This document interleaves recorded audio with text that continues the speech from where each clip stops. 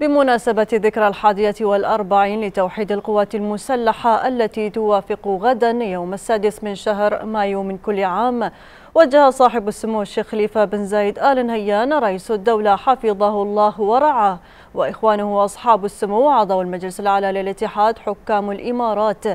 كلمات الفخر والإعتزاز عبر مجلة درع الوطن بمناسبة هذه الذكرى. في كلمة له بمناسبة الذكرى الحادية والأربعين لتوحيد القوات المسلحة. أكد صاحب السمو الشيخ خليفة بن زايد آل نهيان رئيس الدولة حفظه الله ورعاه أن القوات المسلحة تسهم في تعزيز أمن واستقرار دولتنا وشعبنا والأشقاء في دول مجلس التعاون لدول الخليج العربي إضافة إلى مد يد العون لنصرة المظلوم وإغاثة المحتاج. مشددا سموه على أنها ستظل دائما رمزا للوحدة الوطنية وسندا للأشقاء وعونا للأصدقاء. ويبقى الانتماء لها دائما شرفا وواجبا وحقا لجميع المواطنين. وقال صاحب السمو رئيس الدولة إن ما وصلت إليه قواتنا المسلحة من كفاءة وجاهزية عالية هو نتاج رؤية استراتيجية وطنية شاملة مكنت دولتنا بعون الله من بناء قوة رادعة عمادها شباب مدرب ومجهز بأحدث العتاد والأنظمة والتقنيات. مؤكدا أن الدولة ماضية في تطوير قدرات قواتها تسليحا وتنظيما وتدريبا وإدارة. بدوره أكد صاحب السمو الشيخ محمد بن راشد المكتوم نائب رئيس الدولة رئيس مجلس الوزراء حاكم دبي أنه مع نجاح برنامج الخدمة الوطنية المؤزر في صفوف القوات المسلحة وإقبال الشباب عليه بشغف وحمية والتزام أتيح للأجيال الناشئة في وقت مبكر تحمل المسؤولية المقرونة بالوطنية الصافية. ووجه سموه تحية تكريم وإجلال لشهداء الوطن الأبرار مجددا عهد وطننا بحفظ دمائهم والسهر على راحة أسرهم ورعاية أبنائهم رعاية شاملة ودائمة.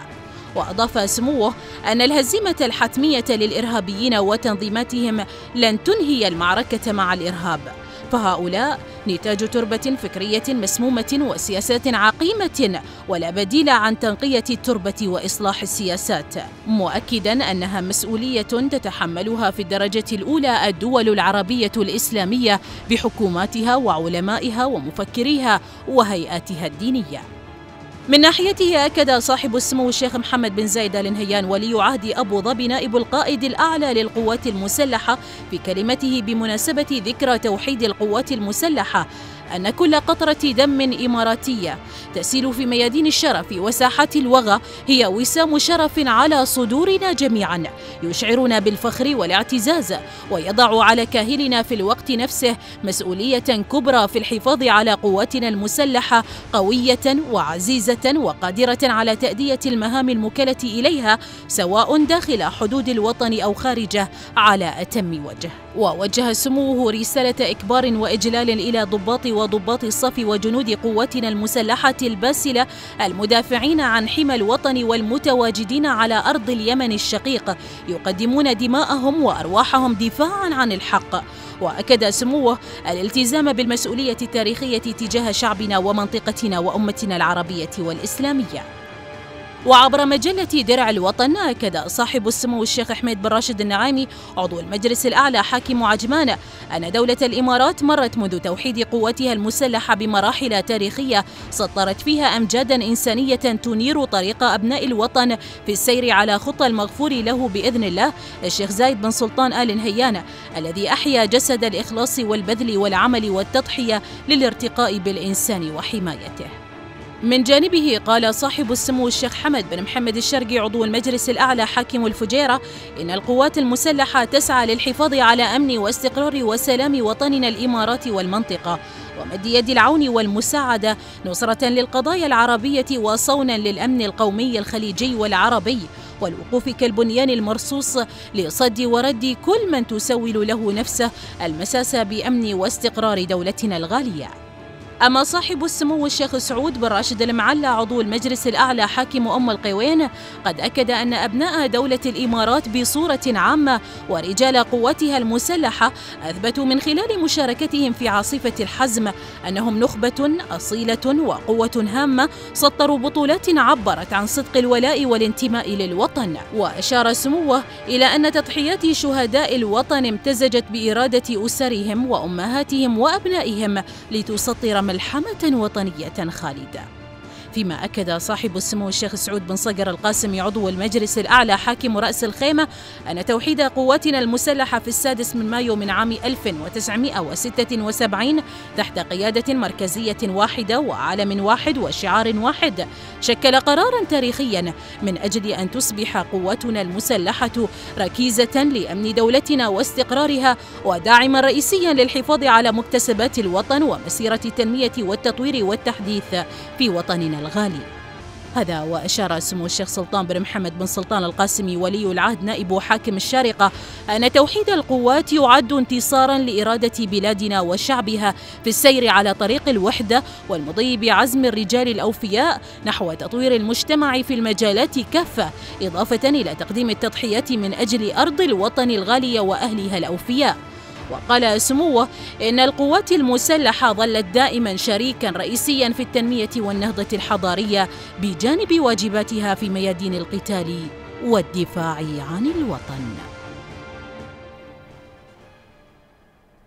وللحديث أكثر عن إنجازات القوات المسلحة خلال الفترة المنصرمة ينضم إلينا عبر الهاتف سعادة العميد ركن طيار راشد الشامسي المتحدث الرسمي باسم القوات المسلحة. بداية نبارك لكم مرور 41 عام على تأسيس القوات المسلحة الإماراتية الباسلة ما أبرز الإنجازات سواء الداخلية أو الخارجية التي تم تحقيقها خلال الفترة الماضية. الله يبارك فيك شيخي طبعا اليوم نحتفل اليوم وغدا نحتفل بواحد من أيام عزتنا ومجدنا. وحدتنا الوطنية يوم الفخر الوطني. آه، اليوم هذا يجسد وحدتنا وتماسكنا وقوة إرادتنا وقيادة آه، وإرادة القيادة الرشيدة. وبعد نظرها وصواب رؤيتها ووعيها الاستراتيجي. نستحضر في مثل هذا اليوم آه، حكمة القائد المؤسس المغفور له الشيخ زايد بن سلطان النهيان وأخوانه حكام الإمارات الذين أسسوا دعائم هذا البناء الاتحادي الراسخ. واتخذوا قرار بتوحيد القوات المسلحه في السادس من مايو من عام 1976 أن قرار توحيد القوات المسلحة يمثل منعطف حيوي في مسيرة البناء الاتحادي. قد كان هذا اليوم آه، وهذا القرار تجسيد فعلي وحقيقي لوحدة الإرادة وقوة الإيمان والعزم على المضي متحدين في مواجهة كل التحديات. طبعا الذكرى هذه الحادية والأربعين لتوحيد القوات المسلحة لا بد لي من التعبير عن الفخر والاعتزاز بدور أبطالنا منتسبي القوات المسلحة. لدولة الإمارات العربية المتحدة المشاركين ضمن قوات التحالف العربي الذي تقوده الشقيقة الكبرى المملكة العربية السعودية دفاعا عن الحق والشرعية الدستورية في اليمن الشقيق. فإن أبطالنا بواسل يسطرون أروع الملاحم ويقدمون نموذجا مشرفا للبطولة حيث تجسدت في هذه الملحمة نتائج سنوات طويلة من التدريب والتأهيل والاستثمار في العنصر البشري تطوير مهاراته القتالية والتدريبية. وقد أصبح أبطال قواتنا المسلحة مبعث فخر وسند حقيقي لوطننا الغالي وشعوبنا الخليجية والعربية. في هذه الذكرى طبعا الوطنية ما ننسى نوقف وقفة إجلالا وإكبار لأرواح شهدائنا الأبطال الذين سيظل عطائهم وتضحياتهم مشاعل مضيئة تنير حاضرنا ومستقبلنا وتقدم لأجيالنا الحالية والمقبلة القدوة والنموذج في الولاء والانتماء لوطننا وقيادتنا الرشيدة. دماء شهدائنا الأبرار قد صدرت تاريخا جديدا للوطنية والفداء وأعادت تعريف مفهوم التضحية والولاء والانتماء لنا جميعا. إننا نحتفل بالذكرى الحادية والأربعين لتوحيد قواتنا المسلحة نؤكد لقيادتنا الرشيدة أننا متمسكون بالوعد والعهد والأدر بالولاء والانتماء ماضون أن الدفاع عن الدولة والحفاظ على ترابها الوطني ومصالحها الاستراتيجية والذود عن مكتسبات شعبنا الأبي سيبقى أبد الدهر نصب عيننا. وسيظل تنفيذ توجيهات القيادة الرشيدة نهجا يقودنا إلى غايتنا أينما كنا. وفي نعم. هذه الذكرى الوطنية آه نجدد عهد الوفاء والولاء لقيادتنا الرشيدة وعلى رأسها سيدي صاحب السمو الشيخ خليفة بن زايد قال هي رئيس الدولة القائد الأعلى للقوات المسلحة. نعم.